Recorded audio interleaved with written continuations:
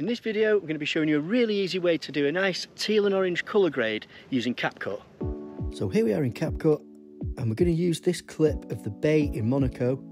We're using this clip because we've got nice blue tones in the sky, we've got some neutral tones there in the sand and the buildings, and we've got some skin tone there with Georgie looking out over the bay. Okay, so the first thing we want to do is deselect the clip by tapping the screen next to it like that. We'll see why we deselect the clip shortly. So we want to go down to the bottom and tap adjust, and then we want to tap HSL. you'll see along the top there, we have our colour range, and underneath we've got these sliders representing hue, saturation and luminance. Now obviously every clip's individual, but if you follow along what I'm doing with these sliders and adjust it to suit the clip you're working with, you should be able to get a really nice looking teal and orange grade.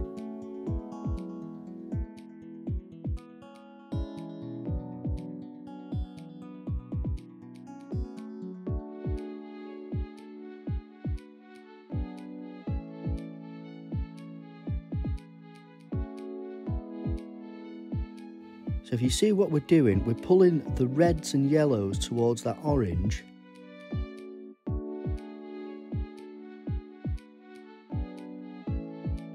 And we're going to pull the blues towards the green.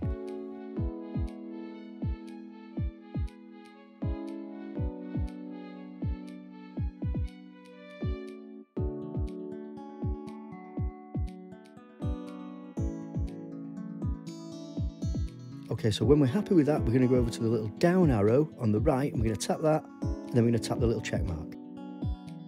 Now you'll notice that we've got an adjustment layer underneath our main clip, and that's the reason we did this with the clip deselected, to get that adjustment layer. Because what that allows us to do is, if we slide it across like this, we can compare our grade with the original. So we've gone from that to that. So we've taken all those purple tones out of the sky, and if you look at the difference in Georgie's skin tone, we've gone from a neutral skin tone to a really nice filmic looking orange skin tone. Watch the strap on Georgie's backpack. It's gone from this kind of purpley blue into this really nice teal colour. Okay, so we're going to deselect the adjustment layer, I'm going to tap adjust again, and this time we're going to tap graphs. Now you notice we've got the colours along the top, we've got white for exposure, and then we've got RGB, red, green and blue. So starting with the exposure, what we'd normally do here is bring the shadows up a tiny bit, just to give us a little bit more detail in the shadows, but we don't want to lose any of that contrast. The highlights, I don't think, need to be adjusted at all. So we're happy with that. So we're going to tap the little down arrow again, and we're going to tap the check mark and we've got another adjustment layer there. So again, we can do a comparison. Bring these both along to there. Now this time we're going from that, that kind of purpley looking, little bit flat type of colour profile to that. A much more vibrant, much more filmic look.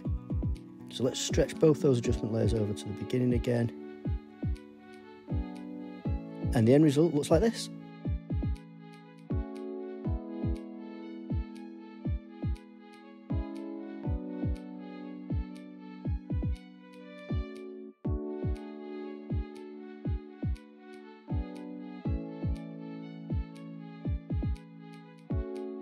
So if you found this video useful, give it a like and don't forget to subscribe to the channel for more cool videos about mobile filmmaking, video editing, all that kind of thing. Thanks for watching. See you next time.